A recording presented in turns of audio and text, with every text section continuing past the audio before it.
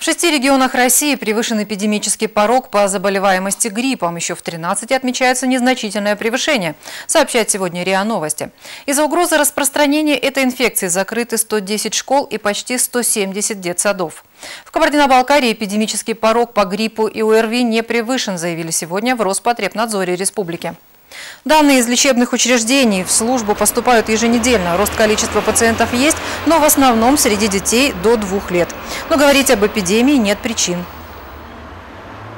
Кроме вируса гриппа есть целая когорта вирусов, которые вызывают острые респираторные заболевания.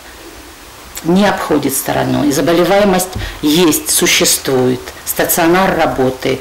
Работает а, в полном режиме. Но превышения эпидемических порогов нет.